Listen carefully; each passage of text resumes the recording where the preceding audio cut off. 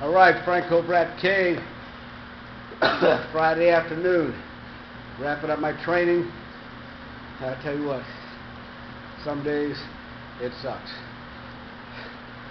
Other days it's a lot of fun. But if you work on the things that you suck at long enough and smart enough, one of these days there'll be something you like to do. You'll become a strength and you look forward to it. So I always say, build on your strengths, don't neglect them, work on your weak spots, or you're just kidding yourself.